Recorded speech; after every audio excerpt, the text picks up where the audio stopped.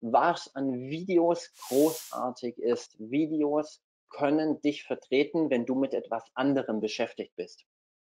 Wenn du gerade Projektmanagement machst, aber auf deiner Webseite schaut sich jemand um und will dich kennenlernen, will etwas von dir kennenlernen.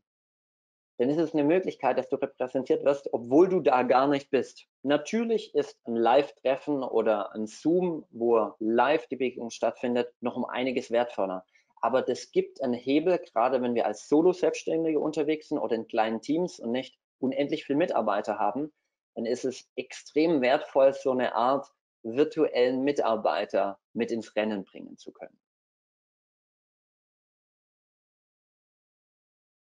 Das Interessante ist, mehr gemeinsame Zeit führt immer zu mehr Vertrauen. Das ist die Psychologie des Menschen.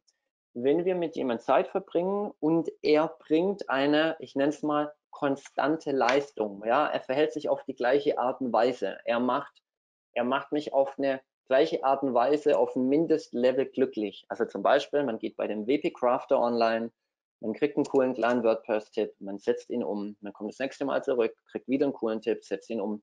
Dann ist es so, ja, wenn ich zu dem gehe, ich kriege immer was Gutes geliefert. Menschliche Psyche funktioniert so, diese Interaktionen, die da da sind und die sich häufen, führen zu Vertrauen. Vertrauen führt zu einem guten Gefühl und Fakt ist, ein Verkauf kann nur bei einem guten Gefühl stattfinden, weil ein Verkauf ist immer eine Entscheidung.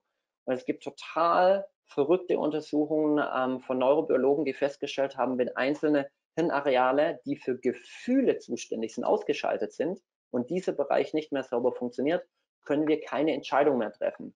Dementsprechend können wir auch keine Kaufentscheidung treffen. Das basiert alles auf dem Gefühl. Das heißt, gemeinsame Zeit, Vertrauen, besseres Gefühl, mehr Verkäufe.